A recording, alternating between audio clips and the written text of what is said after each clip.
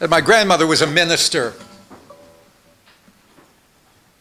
a preacher, my dad's mom, I mean, rather, my, my mom's mom, my mother's mom, Harriet, was a uh, minister of, of uh, science of mind. She was a healer. And she had the whole mind over matter thing figured out. Well, penetrated. Guess you don't figure it out. She had penetrated the seemingly impenetrable realm. And she found that the decade of the 60s very encouraging. Because as she put it to me, so many young people are leaving the church and going back to God.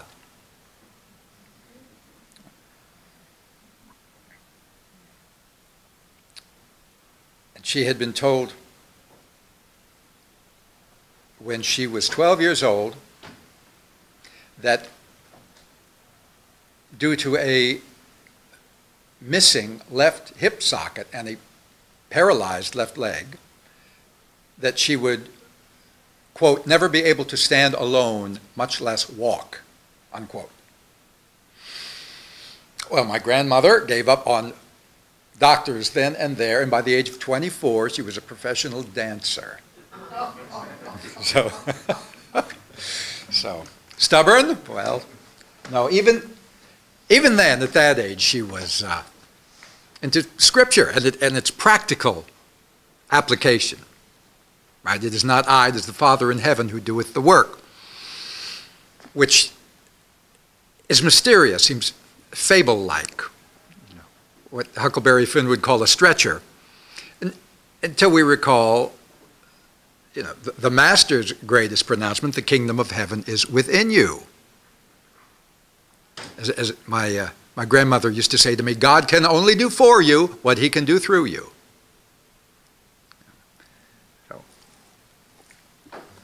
Um, and she, she married. She was the first person in our whole family to ever get divorced. So I really am following in her footsteps. Uh, but she married a wonderful guy named Don Upp. UPP, Don Upp. He was the head cashier, uh, paymaster at Paramount Pictures for 40 years. He used to hand out the the, you know, Marlon Brando's paycheck to him every week, Clark Gable's paycheck. And uh, a great guy, Don Upp. So her name became Harriet Upp. It was a great name for a preacher, great name for a minister.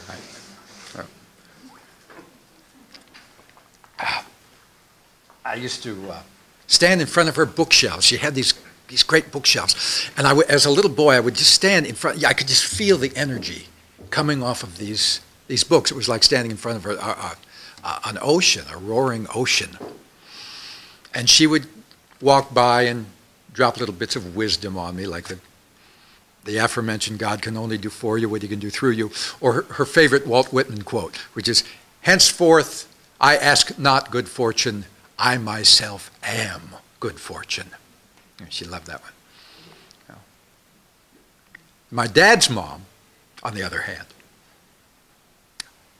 was a trash talking, bourbon swilling jazz hound from Tennessee. She used to, I, I would sit on her, on her knee. As the old saying goes, I with my bottle, she with hers. And uh, she would tell me Sing, sing me songs, little folk songs, and teach them to me, or, or teach me jokes. Uh, uh, uh, what, what are the three main parts of the stove? Lifter, leg, and poker. This, yeah, this is my grandmother teaching me when I was, you know, this high. Uh, so, and she loved jazz. She always wanted to take me down to New Orleans to the bistros. But you know, the, that's what she called them, the bistros, the, the jazz clubs. And we would uh, we'd look at the record albums and, and take out the, the inner sleeves, those paper sleeves that had printed on them all the other albums you could buy. This is when, you know, media came in, in packages that you could read.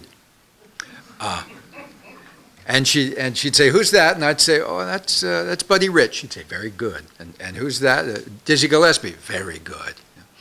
So we we got along great. And her favorite singer was Hoagy Carmichael.